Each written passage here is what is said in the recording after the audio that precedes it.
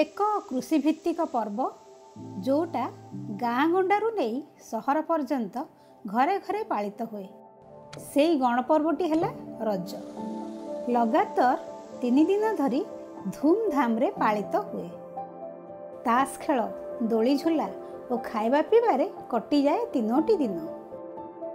ରଜ ମାନେ ପୋଡ଼ପିଠା ତ ନିଶ୍ଚୟ ତିଆରି ହେବା ଦରକାର।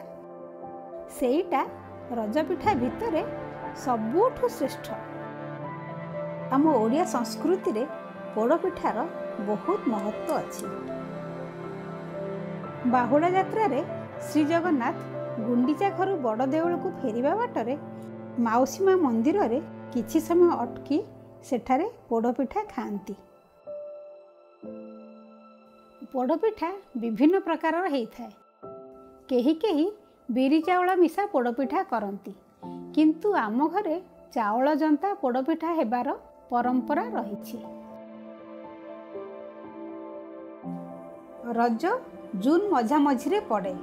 ସେହି ସମୟରେ ପିଲାମାନଙ୍କର ସ୍କୁଲ ଛୁଟି ଥାଏ। ଗ୍ରୀଷ୍ମ ଛୁଟି ମେ ଏକରୁ ହିଁ ଆରମ୍ଭ ହୋଇଯାଏ।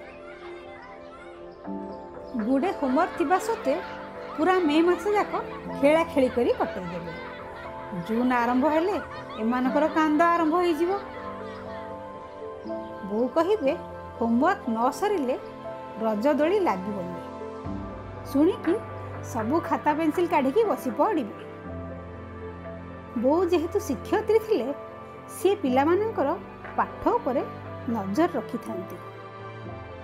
ରଜ ଠିକ୍ ଆଗ ଦିନ ଏମାନଙ୍କ ହୋମୱାର୍କ ସରିବ ଆଉ ଆମ କୃଷ୍ଣଚୂଡ଼ା ଗଛରେ ଦୋଳି ଲାଗିବାର ବ୍ୟବସ୍ଥା ହେବ। ଆମେ ବୋଉଙ୍କ ସାଙ୍ଗରେ ମିଶି ପିଠାପଣା ପ୍ରବନ୍ଧ ଆରମ୍ଭ କରୁ। ବାରିପଟେ କାଠ ଚୁଲି ଲାଗିବା ସମୟ ହୋଇଗଲେ ସବୁ ଛୁଆ ଧାଇଁକି ଆସିଯିବେ ବୋଉଙ୍କ ଗପ ଶୁଣିବାକୁ ବସି ପଡ଼ନ୍ତି। କହିବେ କ'ଣ ନା ଚୁଲି ଲିଭିବା ପର୍ଯ୍ୟନ୍ତ ଆମେ ଚେଇଁକି ରହିବୁ। ଘଣ୍ଟେ ହେଇନଥିବ ସବୁ ଗୋଟେ ଗୋଟେ ଢୋଳେଇବାକୁ ଆରମ୍ଭ କରିବେ। ଆମେ ସେମାନଙ୍କୁ କାଖେଇ ନେଇ ଶୁଏଇ ଦେଉ।